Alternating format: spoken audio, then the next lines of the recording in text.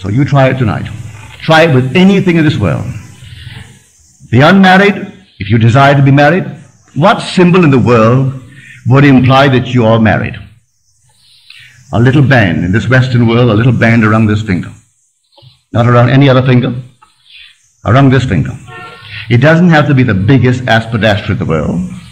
Just a plain little gold ring. If you wore it there, it would imply you're married. Sleep tonight as though you wore one. Don't put your physical thumb on it. Put your imaginary thumb on it. And feel it in your imagination. You can do it. Feel a ball. Can you feel it? Then feel a piece of silk. Feel this, one after the other. Can you discriminate between all these different sensations? If you can discriminate between this and a tennis ball and a baseball and a piece of silk, then you can't discriminate between nothings.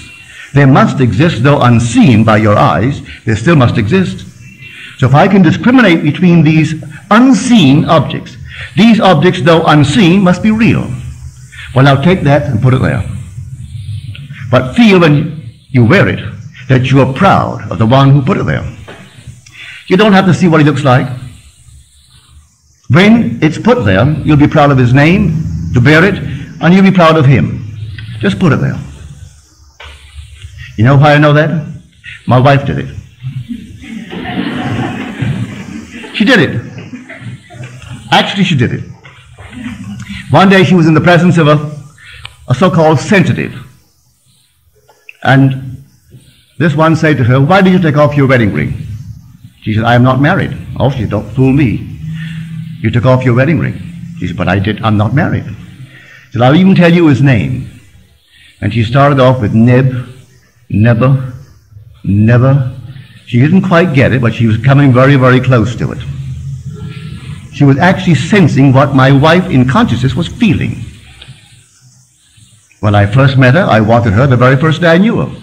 I wanted to marry her. But I was entangled. Was I entangled? But by this law, I disentangle myself. Without hurting anyone, I disengage myself from all these complexities so that I could actually legitimately say, Will you marry me? But in the meanwhile, she was wearing the ring. I hadn't yet put it there, but she allowed me to put it there and slept as though I had put it there. So I tell you, unmarried ladies, if you desire to be married, maybe you don't. If you do, that's the way to do it. And he'll come out of the nowhere. You don't have to go and buy anyone or try to meet the right people. Usually when you try to meet the right one, he's always the wrong one. So don't go searching. Those who go searching for love only make manifest their own lovelessness. And the loveless never find love. Only the loving find love and they never have to seek for it. So you fall in love, you don't have to seek for it. You draw them. They come to you. So here, this is the power of which I speak. The power of the universe, the power that created and sustains the universe, is resident in you as your own wonderful human imagination. That's God. Don't forget it.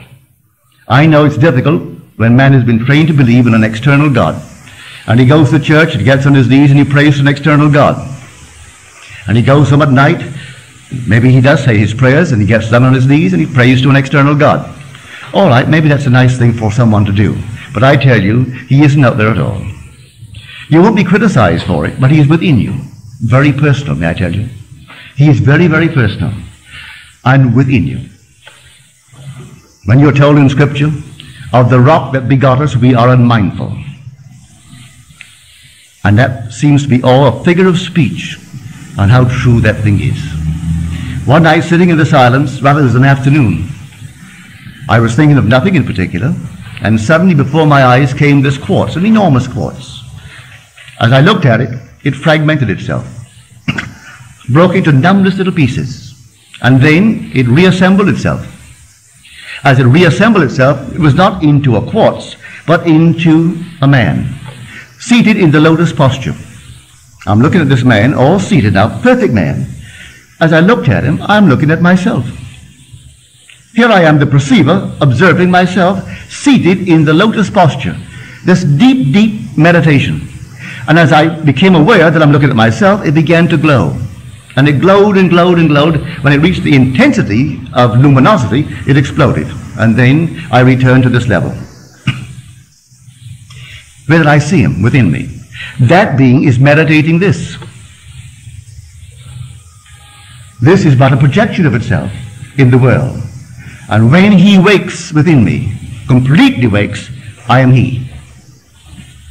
God actually became me, that I may become God. And he's put me through all the paces, allowing me to make all the mistakes, to make a monster like the thing that I talked, talked about earlier. I made that, and I made a lovely one. And he allows it in his meditation. He is the dreamer in me.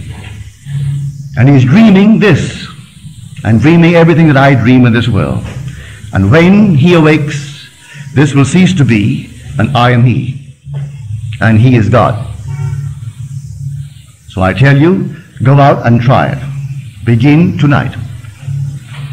I make you this promise, if you try it faithfully, you will not fail.